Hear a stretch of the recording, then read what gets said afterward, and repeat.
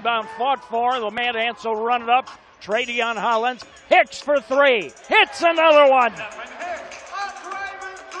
The team together and just throw them out there and allow them to, and expect them rather to gel uh, like you want them to.